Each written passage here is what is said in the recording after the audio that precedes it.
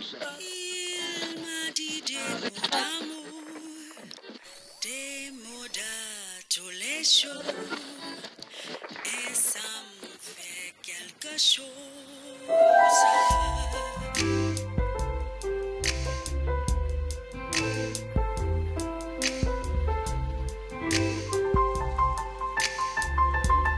thank you